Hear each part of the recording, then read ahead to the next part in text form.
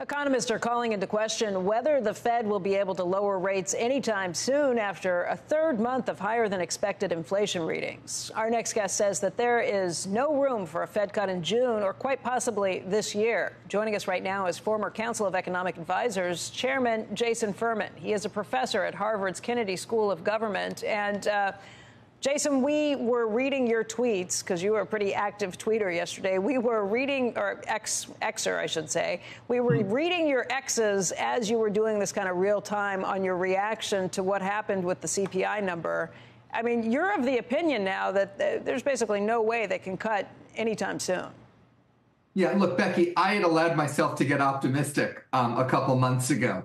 But, you know, fool me once, shame on you. Fool me twice, shame on me we've now had three months in a row of prints coming in above just about what everyone expected. Um, it's time to change the way we think about things going forward. Um, the market has done that for June, but you know continues to hold out hope.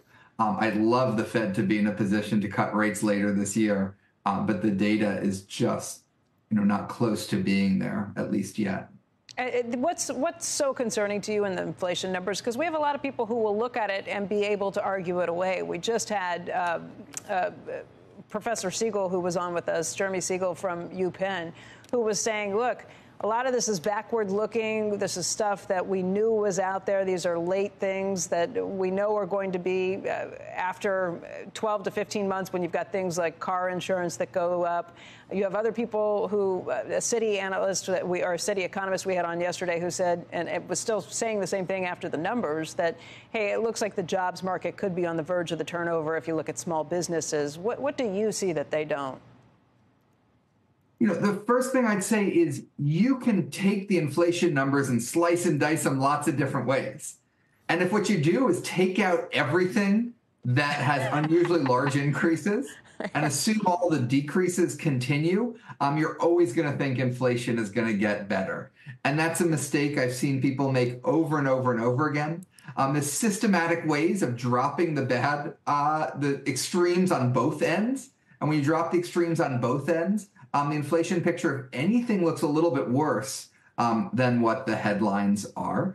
Um, the other thing is, you know, sure, the stuff is lagged, but core inflation on a three month basis has gone from below three to 4.6% over the last six months. It's actually rising. And you know, none of these lag stories give you why it should be rising. It should still be falling. Now, look, do I think we're at four and a half percent inflation world? Absolutely not. What the Fed targets is lower than that. I don't think it's a moment for panic, but really not a moment for complacency either. Jason, we, we probably are guilty of talking about the inflation numbers a little bit too much strictly in the context of, therefore, what will the Fed do? Um, I think everyone agrees it's fine to wait for a potential Fed rate cut if it means that we have to let inflation uh, settle back a little bit more. It's more about the potential adverse uh, results, if there are going to be any, of the Fed staying tight. So, what's your theory of the case? Do we actually have to have unemployment go up more? Do we have to have service, the service economy slow a lot more in order to get inflation down, or uh, can we somehow just wait and have time take care of it?